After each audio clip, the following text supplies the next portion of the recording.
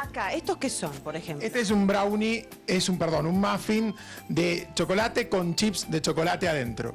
Como para que no me quede dudas de que Exactamente. sí. De que es contundente. ¿Y esto se puede a la mañana con algún cafecito también o es medio hora. pesadito? No, se puede a toda hora. A toda hora. Opción salada. Acá veo pan de jamón y queso. lo único que tenemos en realidad es salado, traemos con la misma masa que hacemos la croissant o el pan o chocolate, hacemos el de pa- chocolate? pan, o pan de chocolate, hacemos el pan de jamón y queso, por supuesto. Mirá, que este- dentro de la misma masa ya está el jamón y el queso.